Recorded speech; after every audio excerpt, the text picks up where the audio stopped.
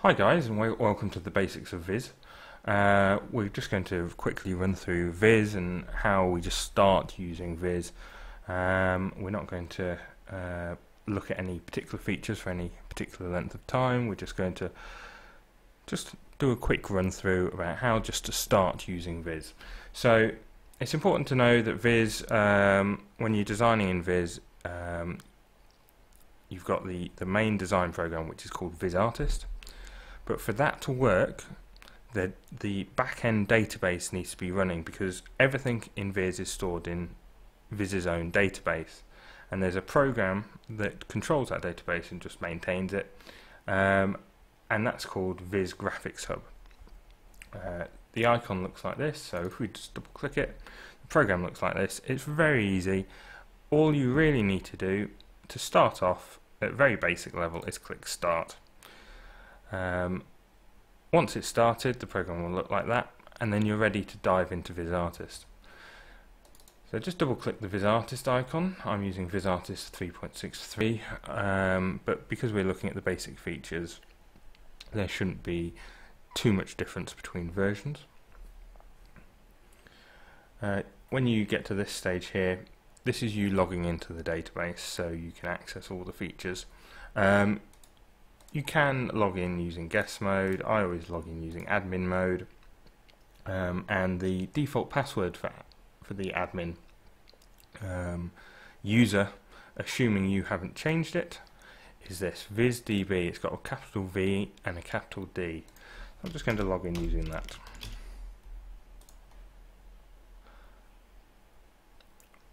Once we're in Viz Artist, you'll notice that the the screen is split up almost into four quadrants. Um, this is the default view. The top left area is your server. Um, think of it a bit like a Windows Explorer window, uh, where you can have folders on your left that you can store all your elements in. Um, and then when you click on a folder, you'll see the elements just in this window here.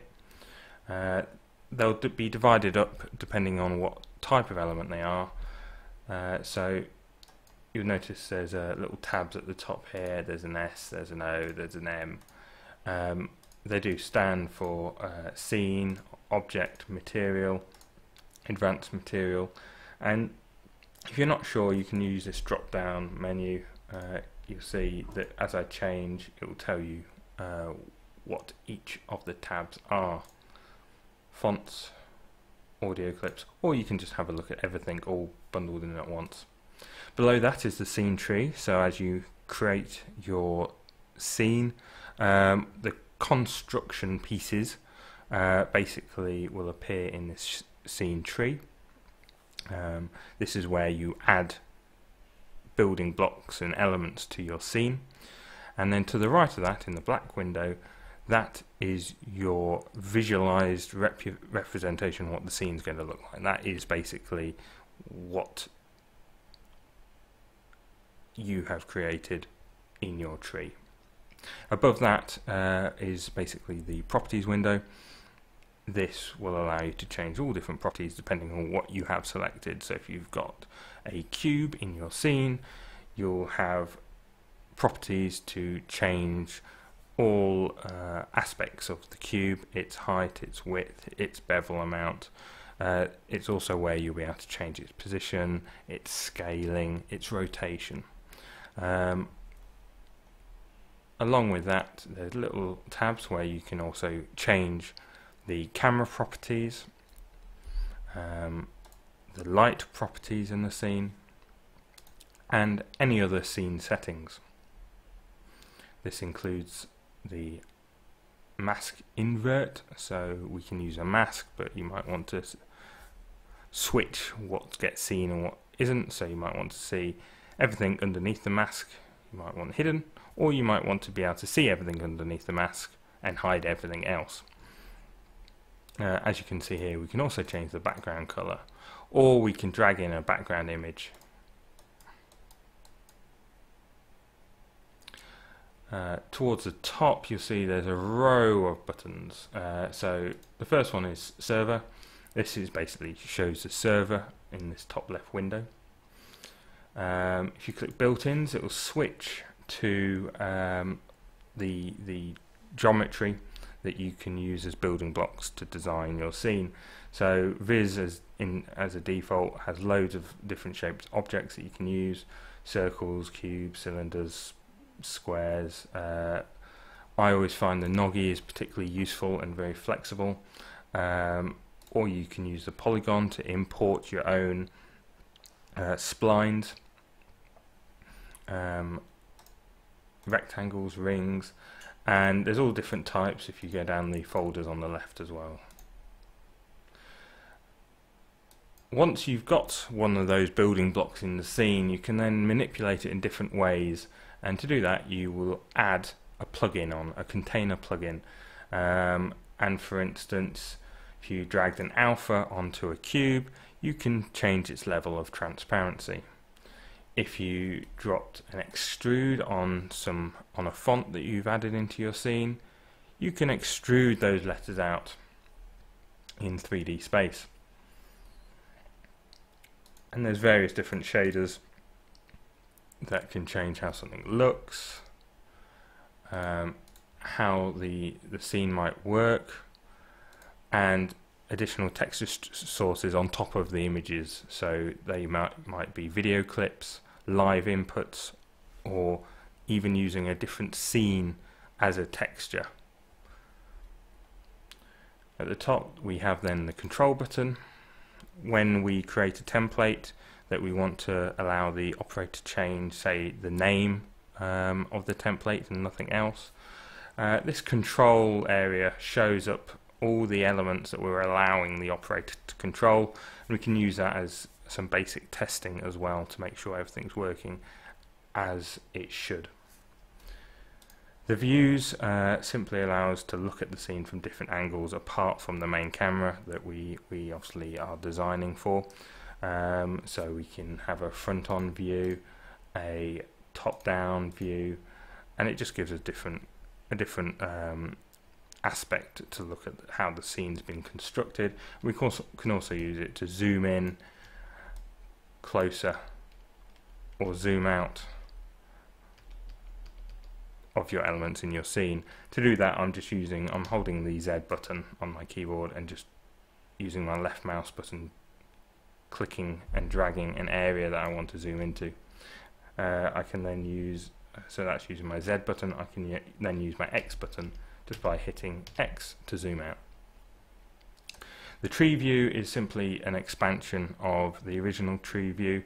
Uh, it's basically the original view but without the server as you can see it just minimizes the server and maximizes the tree view the stage um, holds all your animation in the scene um, and then on top of that you've got different variations of keeping the stage view and seeing the server keeping the stage view and obviously having the tree or even having the tree and the server and the stage view all at the same time the import dialog allows us to import our images, fonts, audio clips. In fact, if you click down on this menu, you can see exactly what can be imported.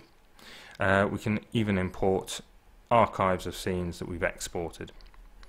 Now to export an archive, we just use the archive button and we drag our scenes that we want to export from this side, from the left hand side of the window to where it says file entry points on the right um, and what it would do, just package all these files up, all the um, all the scenes up with all the elements they need into a file called a, um, a VIA file. The config menu allows us to change uh, lots of different uh, configuration uh, aspects of the viz. Most important is the output format. Uh, for most jobs we use now is a 1080i HD output format we're in the UK, so we use the PAL frequency of 50 hertz. Um, obviously, we can choose uh, the original PAL SD uh, format, uh, 16 by 9 or 4 by 3. Um, same again, we can quickly change to NTSC, 720p, um, or user-defined um, dimension but we're just going to leave it on 50 hertz because we use that 99% of the time. Moving forward onto post, uh, this allows us to create um, rendered clips of our graphics. Uh, we can choose uh, the clip plugin we want to use, in this case a QuickTime clip. We can choose the codec it renders out in. We can choose whether we just want the RGB color or we want to include an alpha channel as well. Uh, whether we want it interlaced or progressive we give it a file name, we tell it how long the clip we want the clip to be. Now remember in Viz we um, the system uses fields not frames. So for every one frame there is two fields. So 25 frames or a second of video is actually a duration of 50 fields.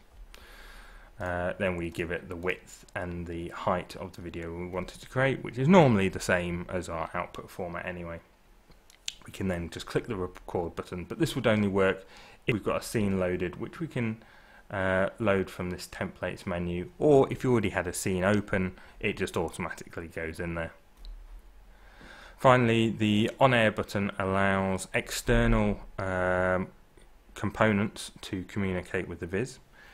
These might be uh, pro, uh, other viz programs such as viz content pilot or viz trio and uh, that allows an operator to send uh, commands to open a scene, play the animation, and also send uh, the template, um, the new template text. So if we've got a template and we've allowed a change of text, for instance, a name, uh, it allows the operator to send that name that they've typed in into the graphic, take it out, and then they might have the same graphic but with a different name that they, they might want to put in.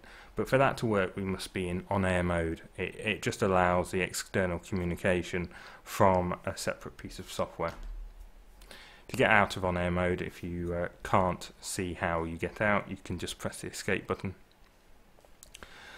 Finally, uh, this little button here is the commands window. It allows us to uh, debug um, if we not sure why something isn't working correctly, especially if we're sending commands from an external piece of software into VizArtist. It allows us to see the commands that are being sent as well as um, the actions being taken because of those commands and it's very easy to see if a command's being sent and it, it can't find that particular container or that particular text it has to change um, so that's how we debug using this little command window. Finally, we can show uh, license information and obviously we've got our close button. Through the middle um, we have our little rubbish can so if we ever want to delete anything we just click and drag it to this rubbish can here. We have our time controls we can move forward just by dragging or backwards in time. Remember this is fields again, not frames. This button sets keyframes. And then down the middle here we have our camera selection. We can have multiple cameras and we can select uh, different cameras when we want them. We've also got three main layers in Viz. They can be accessed by this L for layers. It's a layer manager. Mainly you work in the main layer, but if you need to have more than one graphic template on air at one time, we can load different graphic templates into different layers. We only have three layers, so you have to be smart. You can't have an infinite number of layers unless you start looking at different technology or different ways of building things like using transition logic. This snap button is very useful. It allows us to create a snapshot of, uh, or basically a screenshot of the uh, whatever's currently in our preview window. And then we can turn on and off uh, different elements and, and they affect things in this preview window. So for instance, bounding box on and off, title safe and uh, graphic safe area. We can change it so we can see the key or the RGB color. Wireframe.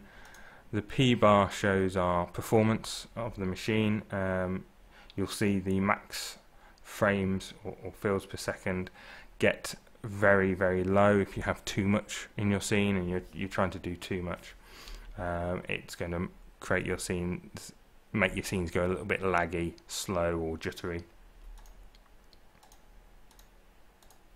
Finally at the bottom of our tree we have our, our save uh, options. We can close a scene. To open a scene we just double click the scene we'd like to open from our server if we had one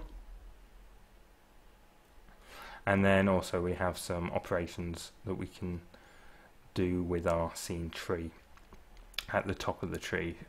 Uh, some just quick ones uh, lock and unlock containers show and uh, sorry make visible or or hide selected containers. And it doesn't actually hide them in the tree but it, it basically turns them off from the preview window over here. Uh, we can expand because it's a, a, a tree based um, building mechanism. Um, we can expand into the tree, so it expands everything into the tree, or we can contract and collapse the tree. Uh, there's some script controls, we can zoom in and out, which actually only just makes the container, uh, the visual containers, bigger and smaller. Uh, we can group and ungroup things. Um, we can merge groups of uh, into uh, an object. Uh, we can create groups, we can change the group color, and finally we can just rebuild the tree if that's that's necessary. And there's there's some sort and search functions that are available as well. So that concludes our very brief overview of Viz. Uh, in further tutorials, we'll look at actually building basic scenes and uh, getting you up and running designing scenes in Viz Artist. I hope that was useful.